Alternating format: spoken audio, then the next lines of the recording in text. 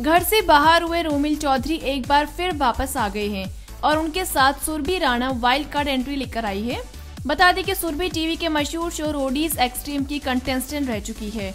Big boss के घर में नॉमिनेशन टास्क होता है। इसमें रोमिल, उनकी जोड़ीदार सुरभि और घर की कप्तान नेहा सेफ़ जोन में है। यहाँ मौजूद घर के सिंगल्स को एक टास्क दिया जाता है कि वे घर में जोड़ियों में से किसी एक को किडनैप करेंगे और रिहाई के एवज में उसके जोड़ीदार से मन मुताबिक मांग करेंगे। अगर पार्टनर एक घंटे के भीतर वह मांग पूरी कर देता है, तभी कंटेस्टेंट की रिहाई होगी, नहीं तो दोनों नॉमिनेटेड हो जाएँगे। इस टास्क में सबसे पहले अनुप जरोटा को दीपिका किडनैप करती है और बदले में उनकी जोड़ीदार जसलिन से बाल काटने, कपड़े और मेकअप की कुर्बानी देने को कहती है। यह मांग जोड़ियों को बिल्कुल नहीं पचती और वो दीपिका से कुछ कटौती करने के लिए दीपिका से नेगोशिएट करते हैं, लेकिन दीपिका टच से मस नहीं होती। आखिरकार काफ़ी सोच विचार के बाद जसलिन उनकी डिमांड पूरा करने से इनकार कर देती है। इसके साथ ही दोनों नॉमिनेटेड हो जाते हैं।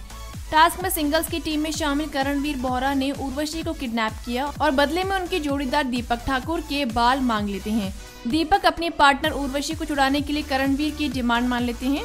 इस टास्क के चलते अब बिग बॉस के घर में सिंगल्स और जोड़ियों के बीच जमकर घमासान होने वाला है। वहीं वाइल्ड कार्ड एंट्री से घर में दस्तक देने वाली सुरभि भी रोमिल के साथ मिलकर मज़बूत कंटेस्टेंट दीपिका और करणवीर के खिलाफ नए गुल खिलाते नज़र आएँगे।